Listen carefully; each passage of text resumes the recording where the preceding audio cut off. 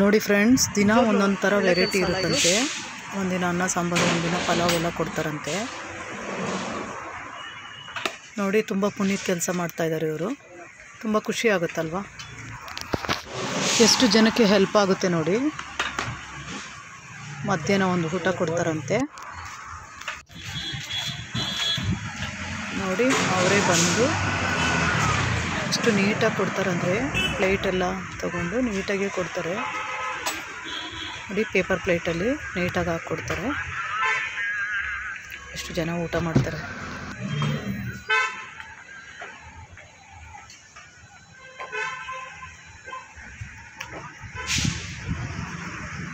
ಇವ್ರೆ, ಇದು ಊಟಕ್ಕೆ ದುಡ್ಡು ಕೊಡ್ತೀರಾ? ಇಲ್ಲಲ್ಲ?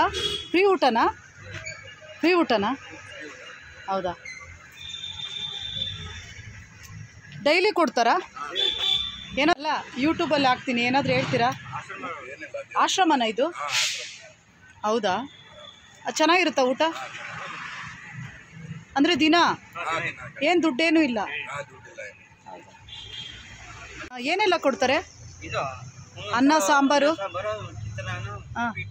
ಹಾಂ. ಅಂದರೆ ಡೈಲಿ ಫ್ರೀಯಾಗಿ ಹೌದಾ? ಹೆಲ್ಪ್ ಆಗುತ್ತೆ ನಿಮಗೆ. ಹಾಂ? ಮಧ್ಯಾಹ್ನ ಒನ್ ಟೈಮು. ಆದರೂ ಒಳ್ಳೆ ಕೆಲಸ ಮಾಡ್ತಾ ಇದ್ದಾರಲ್ಲ ಆಶ್ರಮದವರು.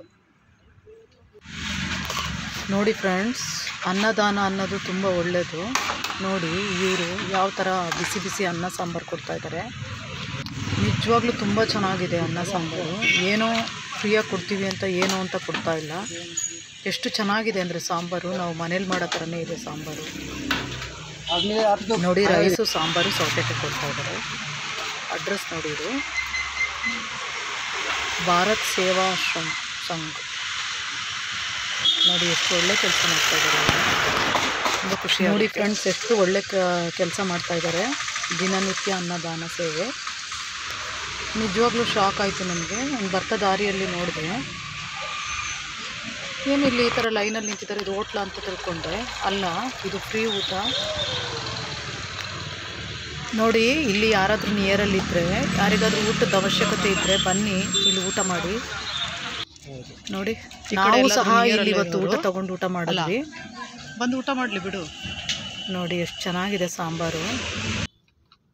ಈ ವಿಡಿಯೋ ಏನಾದರೂ ನಿಮ್ಗೆ ಇಷ್ಟ ಆದರೆ ಲೈಕ್ ಮಾಡಿ ಶೇರ್ ಮಾಡಿ ಕಮೆಂಟ್ ಮಾಡಿ ಸಬ್ಸ್ಕ್ರೈಬ್ ಮಾಡ್ಕೊಳ್ಳಿ. Thank you.